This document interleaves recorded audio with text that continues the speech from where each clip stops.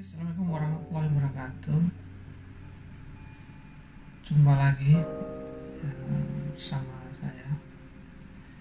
Hari ini kita akan membahas tentang uh, aspek-aspek dari pelaporan klinis dan sedikit juga membahas tentang uh, proses dari asesmen klinis yang biasa dilakukan oleh klinisi di setting uh, pelayanan pada klien. Seperti kita ketahui bahwa psikologi klinis itu merupakan psikologi terapan yang hmm, bergelut atau berfokus pada uh, menentukan behavior capacity, kapasitas perilaku dan behavioral karakteristik, ya, karakteristik perilaku dari individu yang semuanya itu dihasilkan dari data assessment. Nah, assessment sendiri yang utama ada tiga yaitu observasi, wawancara, dan psikotes. Psikotes ini bisa dibagi menjadi uh, psikotes untuk aspek kognitif dan non kognitif. Nah, kemudian assessment yang juga penting adalah pemeriksaan fisik dan status sosial ekonomi serta uh, penggalian data tentang demografi dari klien juga penting dalam proses asesmen. Nah, fokus dari asesmen itu adalah bertujuan untuk memahami ya, kapasitas, kepribadian dan status mental individu. Sedangkan intervensi itu bertujuan untuk meningkatkan, improving uh, behavior uh, pattern atau improving uh, adaptive personality di klien. Jadi meningkatkan kepribadian yang adaptif pada klien sehingga tercapailah keberfungsian yang uh, maksimal. Sehingga uh, clinical intervention itu atau intervensi klinis itu memang dia bertujuan untuk melakukan uh, rekonstruksi terhadap kepribadian klien ya menumbuhkan kepribadian klien yang tadinya maladaptif menjadi adaptif ya sehingga klien akan bisa apa namanya menyelesaikan diri dengan tuntutan-tuntutan uh, dalam kehidupannya. Nah kemudian dalam asesmen klinis itu ada beberapa istilah ya, dalam terutama terkait dengan uh, sumber data dari asesmen itu yang pertama istilah anamnesa. Anamnesa ini merupakan sebuah proses uh, penggalian data yang menggali tentang keseluruhan dari uh, namanya kehidupan klien ya. ya. Sekaligus juga untuk menggali tentang masalah-masalah yang dihadapi dengan klien. Jadi di sini juga ada terkandung bahwa dalam proses anamnesa ini klinisi itu mencoba untuk memahami riwayat hidup dari kliennya. nah, anamnesa ini terdiri dari dua. Yang pertama adalah auto anamnesa. Auto anamnesa berarti klinisi bertanya langsung ke klien yang bersangkutan. Yang menanyakan permasalahannya apa. Nah, kemudian yang kedua itu adalah alo anamnesa. Alo anamnesa berarti alo ini orang lain, orang-orang di sekitar klien itu bisa ayahnya, ibunya, bisa saudara-saudaranya, saudara kandung atau bisa juga temannya, bisa juga guru-gurunya, ya dan lain sebagainya yang berinteraksi langsung atau yang dianggap memahami atau dekat dengan klien selama ini. Nah ini ya, jadi dalam istilah dari proses asesmen itu ada istilah yang agak baku yang dinamakan sebagai anamnesa. Anamnesa terdiri dua, terdiri dua yaitu auto anamnesa dan halo anamnesa yang perlu diketahui ya.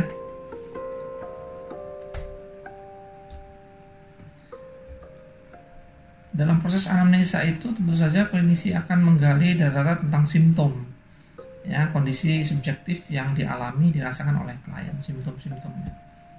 Nah, simptom-simptom ini bisa simptom fisik secara fisik misalnya detak jantung, tekanan darah, eh, apa namanya motorik ya, individu, ya, simptom perilaku misalnya perilaku-perilaku agresif, hiperaktif ya atau adanya ekspresi-ekspresi yang repetitif ya stereotipe dari apa namanya uh, postur tubuh ya juga kemudian yang berikutnya adalah kita menggali data tentang simptom mental. Nah misalnya cara kognitif kita ingin tahu apakah dia mengalami uh, mental blocking atau flight of ideas. Jadi banyak ide-ide yang muncul ya seperti itu. Jadi secara mental secara kognitif secara afeksi perasaan misalnya dia uh, subjek mengalami perasaan depresif yang mendalam ini juga menjadi fokus dari apa namanya penggalian data dalam proses asesmen yang terkait dengan simptom mental ya. Jadi banyak banyak. Hal.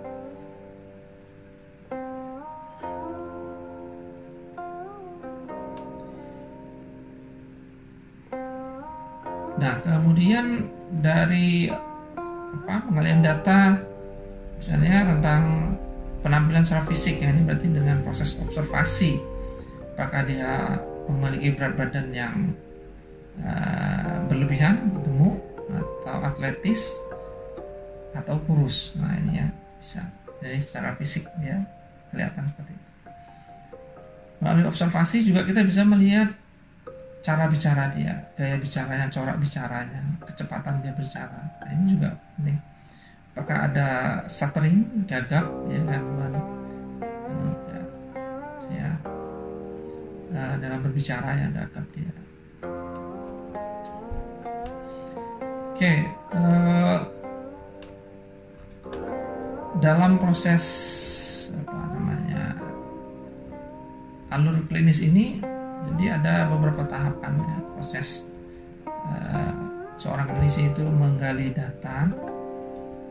Jadi ada tahap pertama itu adalah tahap uh, pre ya tahap pre. Jadi tahap pre persiapan preparation ya. jadi dan tahap proses assessment atau pemeriksaan psikologis itu tahap pertama adalah persiapan. Nah di sini klien atau klinisi maksud saya klinisi itu uh, menyiapkan kira-kira alat apa yang akan digunakan ya. Menyiapkan ruangan ya ketika klien akan datang pada jam tertentu. Ini persiapan segala hal. Dia juga mempersiapkan dirinya sendiri ya uh, apa namanya siap memberi pelayanan kepada klien tahap persiapan. Nah tahap yang kedua adalah tahap input. Input berarti collecting data. Jadi assessment data melalui wawancara observasi dan psikotes jadi klinisi itu mulai menggali data ya data. Nah, kemudian setelah data terkumpul masuk ke tahap ketiga yaitu tahap data processing. Jadi data itu diproses. Ya, setelah tes itu diadministrasi, kemudian di scoring. Setelah di scoring, kemudian diinterpretasikan hasilnya. Kemudian diintegrasikan data-data wawancara, observasi dan data-data psikotes diintegrasikan menjadi satu, dicari pola-pola yang dominan. Nah, kira-kira dia kecenderungannya apa ini apakah dia memiliki kepribadian yang avoidant atau kepribadian dependent nah itu nanti akan terlihat dari hasil uh, triangulasi dari data dari ya. jadi beberapa sumber data diintegrasikan namanya proses triangulasi nah setelah data itu diproses maka masuk ke tahapan keempat yaitu tak uh, data itu harus disampaikan ya, tahapan out, output ya data itu disampaikan jadi kita mengkomunikasikan hasil dari assessment tersebut. Ya. Oke, untuk menentukan kira-kira uh, uh, metode apa yang tepat dalam menggali data tertentu, ya. apakah wawancara, observasi, atau psikotes. Nah, secara umum kita bisa mengatakan berdasarkan uh, riset empirik bahwa data-data yang sifatnya kesadaran ya consciousness mental atau consciousness material materi-materi alam sadar yang bisa dilihat sadar itu kita bisa menggunakan metode interview questionnaire questionnaire atau self rating jadi kalau kita ingin menggali data-data yang yang sifatnya bisa disadari oleh klien, maka kita bisa menggunakan data interview. Sementara kalau data yang ingin kita gali itu adalah data yang sifatnya bawah sadar, bawah sadar, maka kita uh, wajib menggunakan uh, psikotes uh, yang bertipe teknik-teknik psikotes yang sifatnya proyektif ya. misalnya ada ROSA tes grafis ya wartek dan lain sebagainya itu. Nah itu berarti dia bertujuan untuk menggali data-data yang tersembunyi di alam bawah sadar. Nah, seperti itu. Nah kemudian kalau kita ingin menggali data tentang perilaku yang nampak maka jelas bahwa kita menggunakan metode observasi. Kita mengobservasi klien secara langsung. Ya secara langsung secara real time. Nah sementara untuk materi-materi yang sifatnya repress ya, yang dipendam di alam bawah sadar sekali lagi kita menggunakan teknik-teknik projective tes projective free association asosiasi bebas ya ada ROSA ada TAT dan lain sebagainya ya, tadi sudah saya sebutkan itulah kira-kira uh, apa ya penentuan prinsip dasar bagaimana kita menggunakan metode untuk menggali data ya.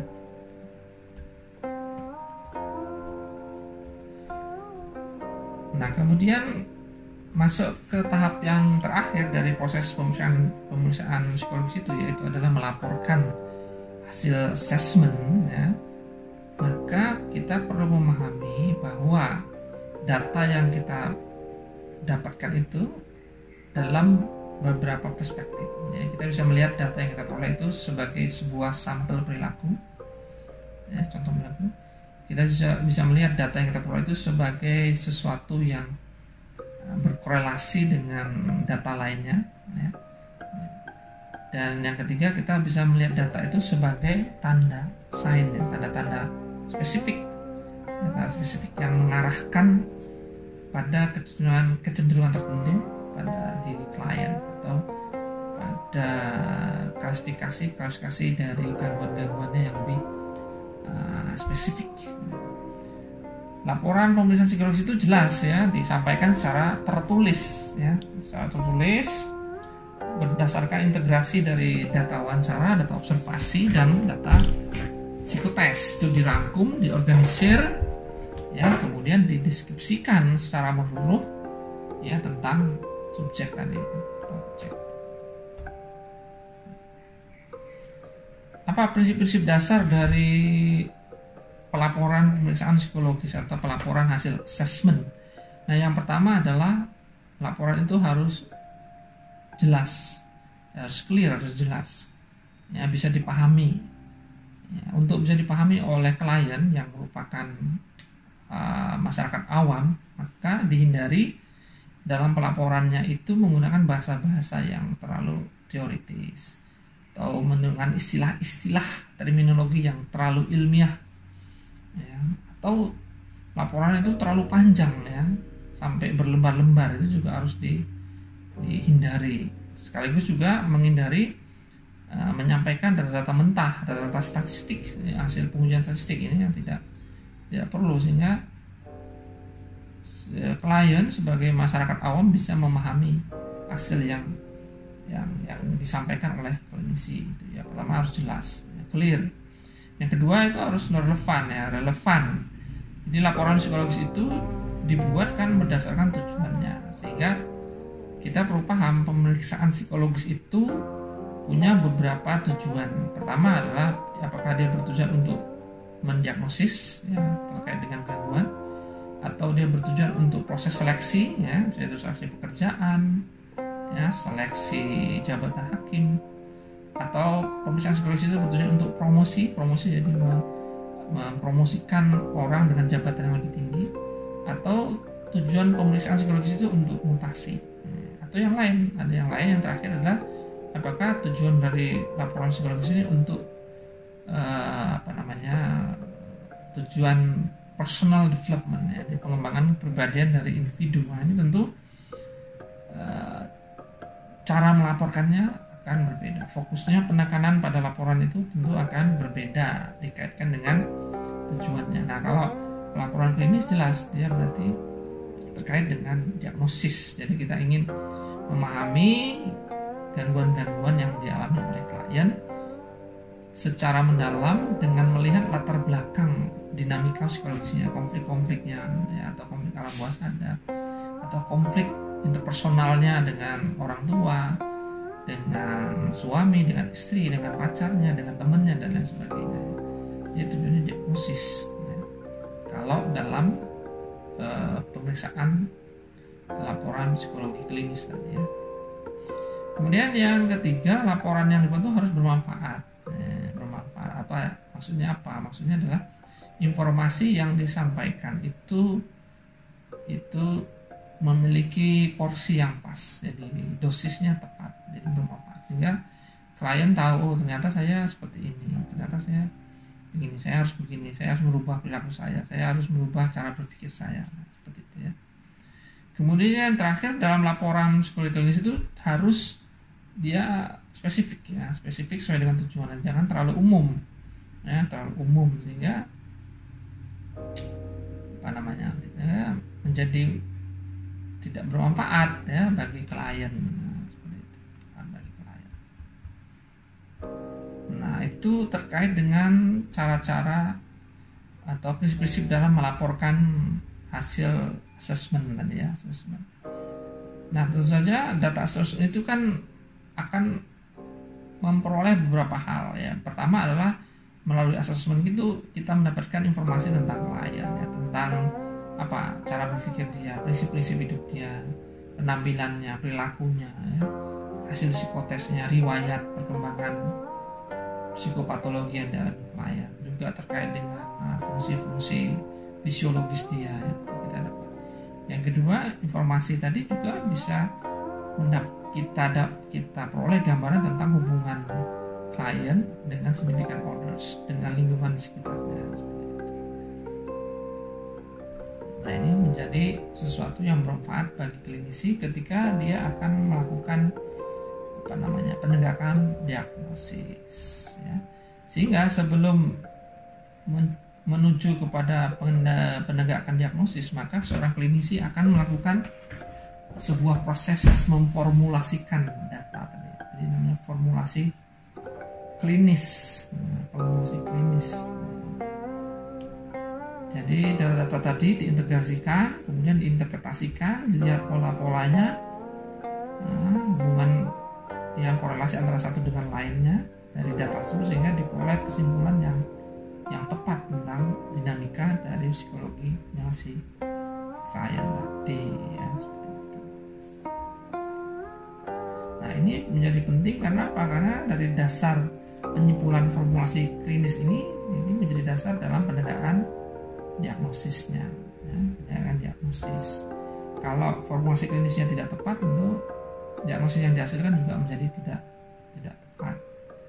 Nah, sehingga kalau diagnosisnya salah, maka ada kemungkinan besar intervensi yang akan diterapkan juga salah karena tidak sesuai ya, dengan gangguan yang dialami oleh klien kan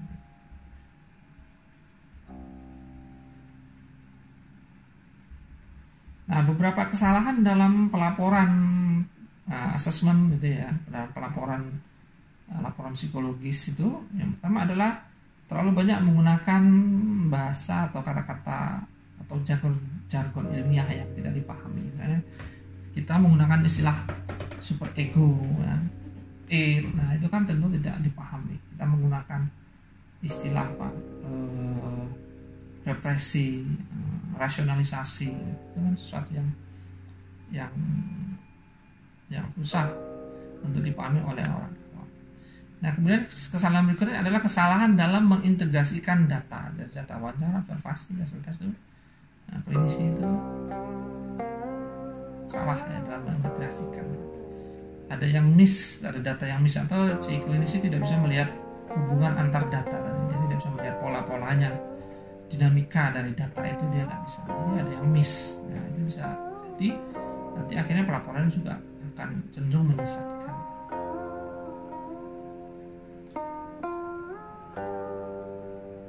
Mungkin dua itulah yang yang paling umum terjadi ya. Pada kesalahan dalam penulisan laporan sehingga memang bagaimanapun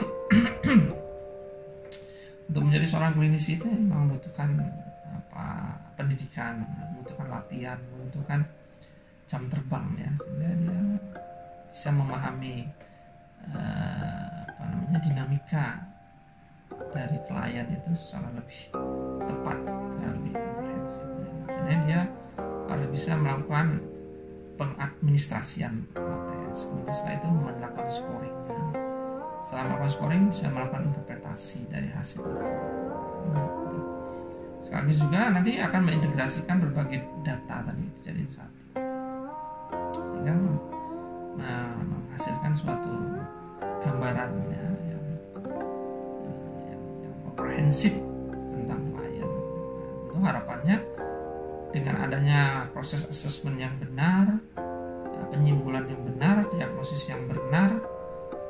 dan intervensi yang benar tentu akan apa tercapai tujuan dari apa namanya terapi itu sendiri.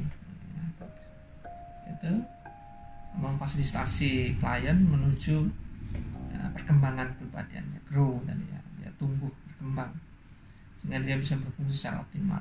Merubah perilaku yang tadi maladaptif menjadi perilaku yang adaptif merubah kepribadian yang tadinya maladaptif menjadi lebih adaptif nah, itu. Oke, nah, kira-kira begitu yang bisa kita diskusikan pada kesempatan kali ini ya, terkait dengan uh, tadi proses asesmen klinis dan uh, pelaporan dari asesmen klinis itu sendiri. Oke, saya kira begitu. Ya, semoga mendapatkan wawasan dan manfaat. Assalamualaikum warahmatullahi wabarakatuh. Semoga sehat dan sukses selalu.